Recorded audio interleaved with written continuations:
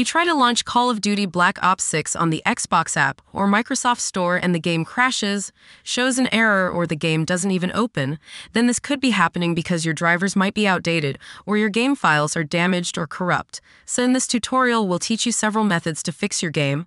First, open the Start menu, open your settings, open Apps, open the Installed Apps section. Locate Call of Duty.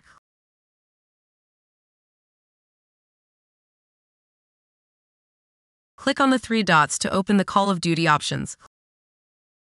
Click on Advanced Options. Look for the Reset section.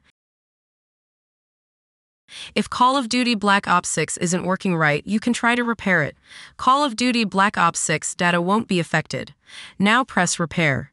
If Call of Duty Black Ops 6 is still not working right, reset it. The app's data will be deleted.